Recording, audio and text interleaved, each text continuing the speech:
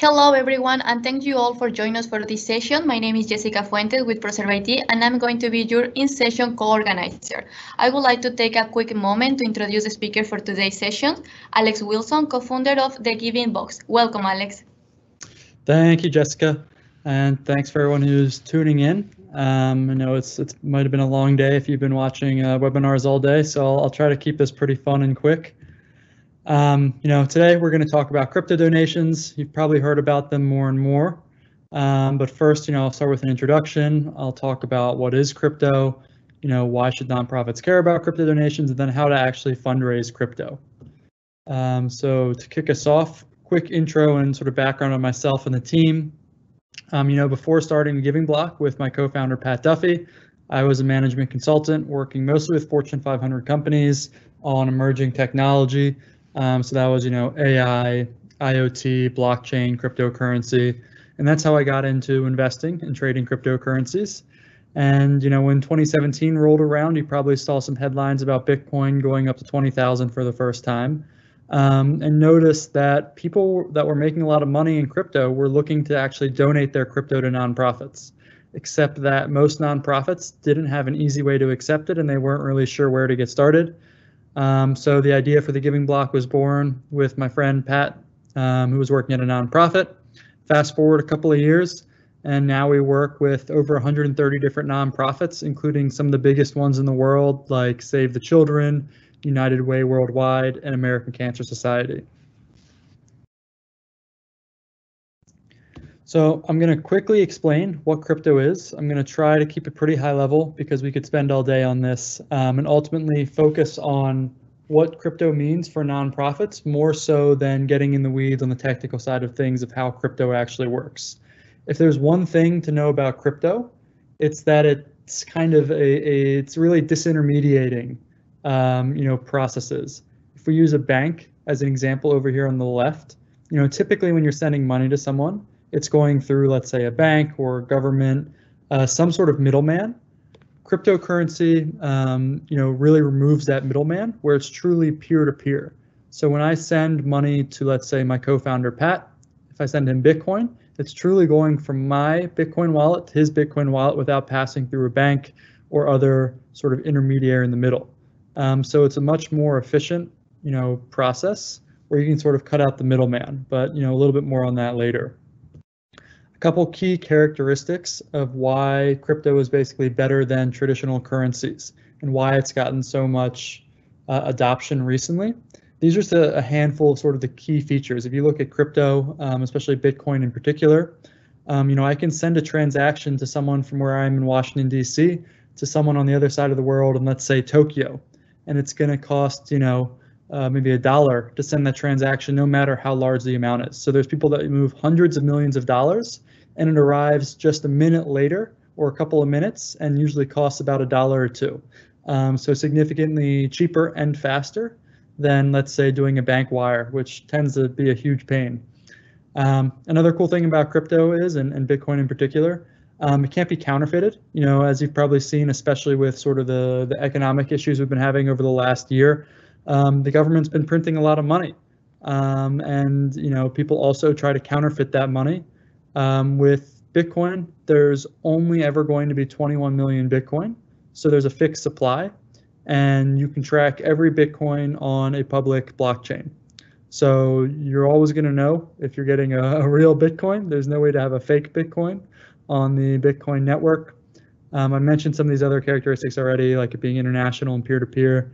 I don't want to get too caught up on this part of the presentation, but wanted to give kind of a, a high-level overview of some of the key features. But if any of these pieces aren't clear, you know, please feel free to, to drop your questions for the end. We'll be sure to save some time at the end for questions. So, um, you know, this next section, why crypto donations? Um, and I'm going to keep this moving pretty quickly because I know we've only got about 30 minutes. Um, you know, one thing that's often surprising when we're speaking to people is I think a lot of people don't realize how many people are actually already using crypto. So last year, the latest research showed that there's over 100 million people using crypto around the world. Um, almost half of that 100 million is in the US um, or North America. Um, and you can actually buy crypto at a lot of sort of what I would say mainstream or common places that people are surprised by. You can buy it on Cash App, you can buy it on PayPal, you can buy it on Robinhood. It's getting easier and easier to use um, as you know more people use it and the technology is built out further. You know, in the 90s when the internet first started getting popular, it was pretty hard to use. It wasn't until you know 10 years later that it was actually commonly used by you know almost everyone. Um, crypto is going through that similar sort of adoption rate where it's getting easier and easier to use, um, and it's you know as a result really reaching a lot more people. Um, and for example, you know the largest cryptocurrency exchange in the U.S. is now largest than the largest stock brokerage in the U.S. So there's more crypto users than there are Charles Schwab users, and there are Fidelity users, and there are E-Trade users buying stocks. I mean, even if you compare it to apps for payments like Cash App or Venmo, it has significantly more users. You'll see over here on the left.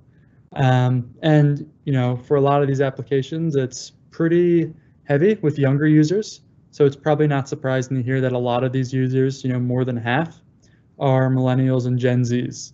Um, they tend to be the earliest adopters of technology, but as it gets easier to use, we're seeing older demographics uh, use this technology as well, especially with companies like PayPal and you know Goldman Sachs, even getting into crypto now.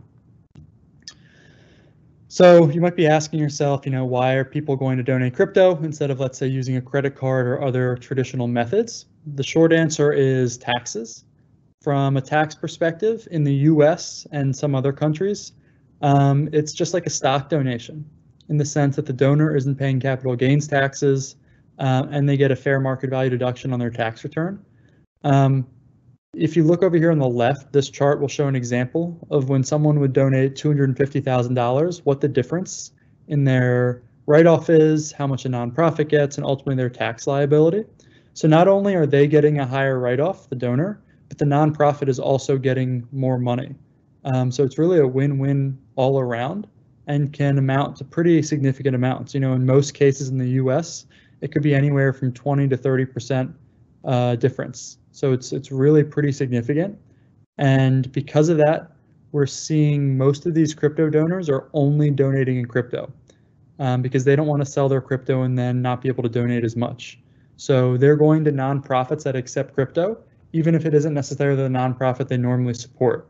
Um, and what we're finding too is, you know, related to this is most of the donors that are donating crypto are new donors or if they were existing donors, they're often able to donate more now because they can donate their crypto directly.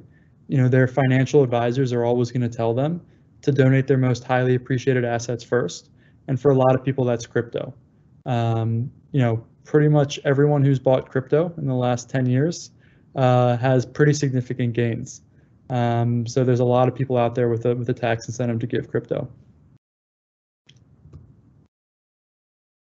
So now we'll jump into how to fundraise crypto. Looks like we're doing okay on time so far. Um, you know, just to demonstrate this, you know, I'll do a really quick demo. Um, so I'm going to jump over here to another screen now. For the sake of the example, I'm going to use one of our clients, United Way Worldwide. Um, on our website, each nonprofit has a profile set up. Um, and an interesting thing we've noticed actually is that even though this widget is on our website and the nonprofit's website, about 80% of that donation volume is actually coming through our website, through our efforts of helping our clients get found by donors. Uh, but to run through a quick demo, um, over here on the right is the actual donation widget. So you can donate Bitcoin, you can donate Ethereum, you can donate a handful of other cryptocurrencies. Um, we're in the process of adding even more. The main reason we support so many different cryptocurrencies is because trading from one cryptocurrency to another in a lot of countries is a taxable event. So you want to be able to offer the cryptocurrency that is appreciated for your donors. Um, and for a lot of them, that's going to be Bitcoin, but for some, it might be something else. So just for the sake of an example, let's say I want to donate 0.25 uh, Bitcoin. It's going to show me the real-time US dollar value of that donation. So that's about $7,700 right now. Then the donor is going to click continue. They're going to be prompted to enter their name, email, and address. Um, in the case of United Way, they allow anonymous donations. So if a donor wanted to, they could skip this form and continue anonymously. But even if they're donating anonymously, they're going to be prompted to enter at least their email if they want to get a tax receipt. So let's uh, enter my email here, alex at thegivingblock.com. I'll click get receipt. And then on this last page, I'll actually complete the donation. So depending on how familiar you are with crypto, uh, this page might look a little bizarre, but ultimately what the donor needs is this wallet address that I'm highlighting here.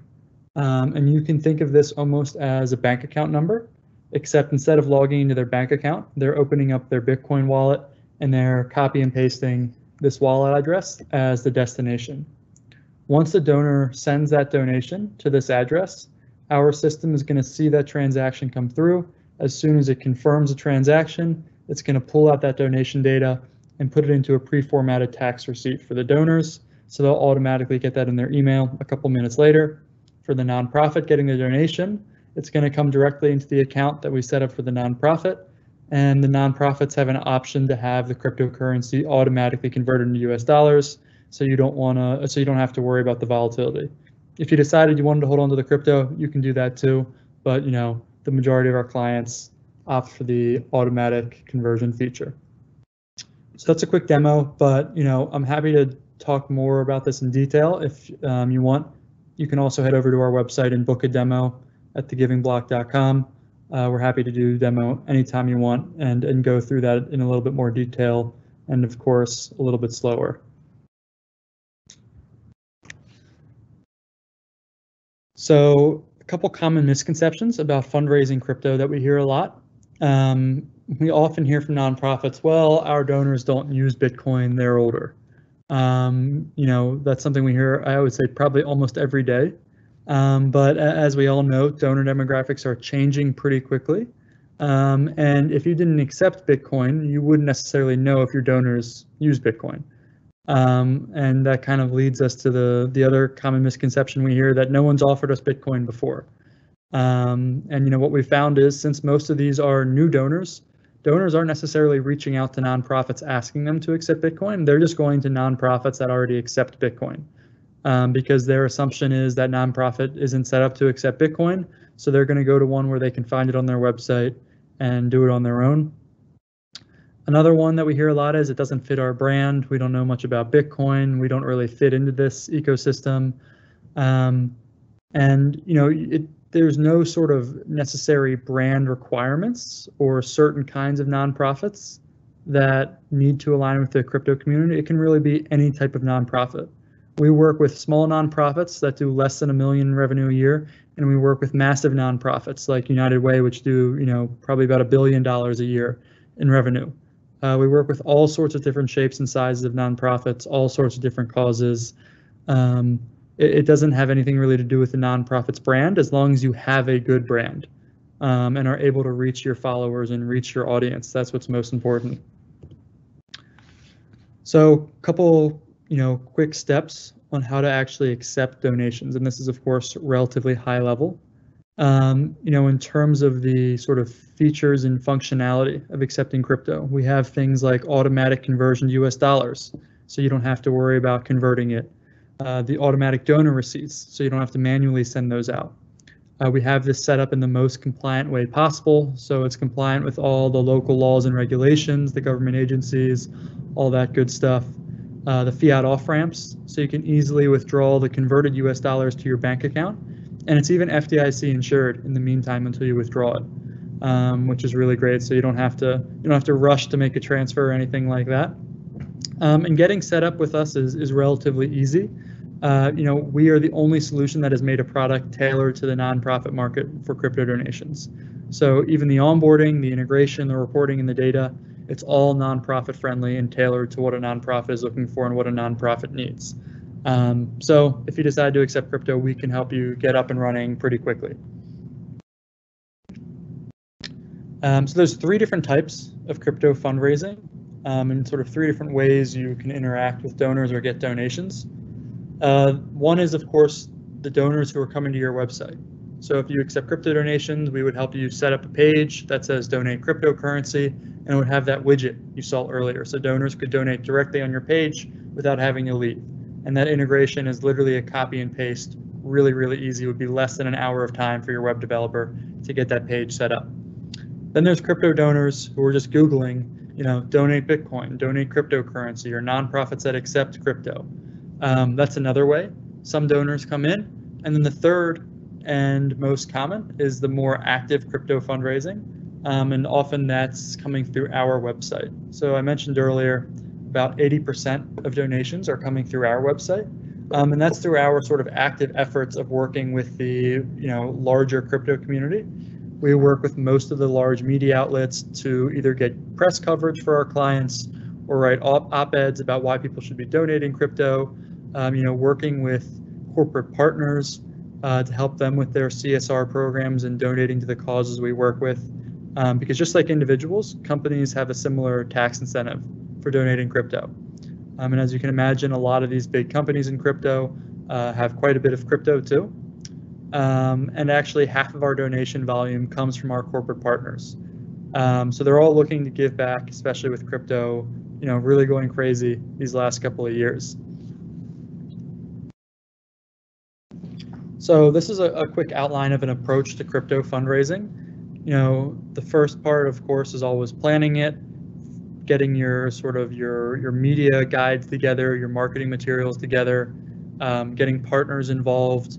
We develop what we call marketing toolkits. So you have examples and templates for how to put out a press release or how to tweet about it in an effective way. Uh, then, of course, there's the actual announcement. Uh, often you can do that through events or through partnerships or even existing, you know, uh, initiatives that your your organization is running. Um, a lot of crypto fundraising can be done in parallel with what you're already doing. Um, and, and it's pretty easy just to mix in some crypto messaging into your existing you know, digital marketing strategy. Uh, once you actually launch, we help spread the word. Uh, we help you keep that drumbeat going year round. You know, there's plenty of giving year round whenever um, people find you. It's not necessarily just an end of year giving thing, although we do see a lot of end of year gifts.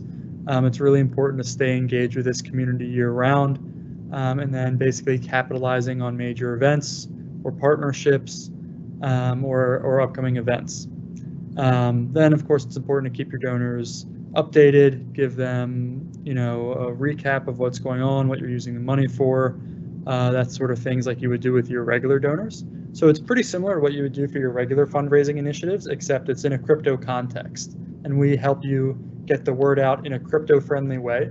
We always joke that, you know, we want to help you message this as if you kind of, you know, talk the crypto talk. We're always worried that our nonprofits are going to write Bitcoin as two words because that would scare donors away. Um, we really help you, you know, fit into this community and, and meet those donors. So I think I, I kept that within the 30 minutes. Um, so we should have a little bit of time now for questions. Um, and if we don't get to your questions, feel free to either email our general email at info at thegivingblock.com and definitely go to our website and book a demo too. So we can do kind of a, a longer version of this and go through a, a, more detailed demo. Or you can email me directly at alex at the Giving Block or my co-founder Pat at thegivingblock.com. Um, but now I'm going to switch over to the Q&A screen and stop sharing my screen here so we can take some questions. Thank you, Alex. I have one question. Uh, is the last question I can see here. It says, does it cover Canadian currency for Canadian charities as easy it does for US charities in US? Uh, yeah, you're asking me if it's as easy to get set up for Canadian charities as US charities? Yes. Uh, the setup process is is pretty much the same, although you would still be getting US dollars instead of Canadian dollars. Um, so you'd want to make sure your your bank account is compatible with you know incoming U.S. dollar transactions. Thank you. Um, so Jessica, should I just go through some of these ones in the the Q and A yes. thing? Okay, so uh, it's confusing. I, I, don't think that's a question. Uh, do you think it's safe for nonprofits to hold on to cryptocurrency, or should a nonprofit acquired and then dump it soon after it amasses a profit? Our nonprofit was gifted with stock, and we were advised to sell and deposit the amount of the stock quickly. Um, I mean, we can't give specific advice on that. In general, though, our nonprofits apply the same gift acceptance policy that they apply to stock donations, which typically is to convert the crypto to cash immediately. Um, and we offer that feature, so it would be an automated, um, you know, automatic automated process. So you don't have to worry about manually converting it. It would just come into your account. It would be automatically converted, and then you can withdraw it to your bank account and use it like you normally would. Um, so Jenny, I hope that answered your question, but if not, feel free to, to put in a follow-up question in the chat. Um, an anonymous question, what's the best company to use? I'm contacted a lot by many people. Um, if, you could clarify that question, that would be helpful, but um, you know, I'm of course biased, but if you're talking about accepting crypto donations, I'm going to say we're the best company to use uh, since we're the only one tailored to the nonprofit market. Um, this other question, also anonymous, is that a donor advised fund? Uh, we are not a donor advised fund. Uh, the way we set it up, uh, the donation is always going directly from the donor to the crypto exchange account we set up for you all. So think about it almost like setting up an account with, let's say, Fidelity or Charles Schwab to accept stock donations, except in this case, uh, it's a cryptocurrency exchange account, and we have a nice widget on the front end to make accepting it easier and we're also offering, you know, sort of the added services of helping you get found by donors. Um, but no, we are not a donor advised fund. Uh, another question on here, also anonymous. How can I buy for the organization using Bitcoin? Um, if you're asking how your organization can buy Bitcoin, um, you know, you can do that through an exchange account and we could help you with that as well although that's not something we commonly see. We're really specializing in helping nonprofits accept Bitcoin donations. Um, another anonymous question is, does the Giving Block support nonprofits and charities outside of the US, like for issuing donor tax receipts? Um, the answer is yes, we do work with nonprofits outside of the US. For example, we have clients in the UK and throughout Europe in uh, Austria and Switzerland, and I think a couple other countries in Europe, as well as we recently had our first few clients in Australia and New Zealand. Um, and we support, I think it's 40 or 50 different countries um, we're set up to support. Um, and for the tax receipts, you know, the tax receipts are a little bit different for each country. Um, so you'd have to check on the specific country in terms of how the tax benefits are. Um, but the receipt that we have is relatively standardized. Um, but if you have a specific um, question about a country, please you know reach out afterwards and, and, send me an email and we can talk about that. Uh, another question, does it convert to Canadian currency for Canadian charities as easily as it does for US charities in US? Right now, um, no matter which country you're in, it's converting to US dollars. We're working on added functionality to support other local currencies like the Canadian dollars um, but we haven't gotten there yet. So for now, it's US only or US dollars only. Another similar question, does it matter where the charity is registered, like Germany as well? Um, it, it, does matter and we can support a lot of countries, not every country yet, but we're working on adding more and more. Unfortunately, I don't think Germany is on our supported list yet, but if you have another entity somewhere else in Europe, even some of the neighboring countries like Austria or Switzerland, um, we can work with those countries. And in some cases, you know, we've worked with organizations that might have offices and entities around the world. Um, so it's a matter of, of picking one that's in a supported jurisdiction. Another question is how to contact us. Um, let me type my email in the chat here so that everyone has that. And you can email me directly afterwards with questions. Uh, another question on here is what percentage of donation go does your company keep? Uh, so that depends. Uh, there's different packages and different tiers, um, but I'm happy to jump on a call and, and, walk through those different options if you shoot me an email. Um, another question on here is if we use another giving platform, fundraise up, would we use the giving block as a second platform? Um, yes, in a sense, you'd be using us in, in parallel with that, or you could, um, you know, I'm not too familiar with Fundraise Up. We don't have an integration with them yet, but we are working on integrations with a lot of other fundraising platforms. Um, but in general, you typically be using us in parallel of your existing um, marketing and fundraising campaigns. Um, another question on here, and, and feel free to keep typing in questions. I'll just keep answering these rapid fire until we run out of time. Um, another question on here is, can a nonprofit schedule an automatic withdrawal when the donated crypto reaches a specific exchange rate? Um, we don't have it set up where it would automatically exchange at a certain rate. There's really just two options right now. Either it's automatically converted when the donation comes in, or uh, you can hold on to the crypto and decide when you want to sell it. Um, so if you wanted to, you could, you know, hold on to the crypto and uh, you know, say we're going to sell it at X amount, and then you could sell it then. Um, and I know we're getting close to the end of the time, so if I don't get to your question, you know, feel free to shoot me an email. And I encourage everyone to schedule a demo on our website too. That's probably the best way to, uh, you know, really get a detailed uh, conversation. Uh, would both platforms be an integrated widget on our site? Um, yeah, adding our widget to your site is as easy as copy and pasting an iframe code. Uh, really, really easy integration. Typically, we set up a page under other ways to give specific to donating cryptocurrency. Um, that's how most of our clients do it.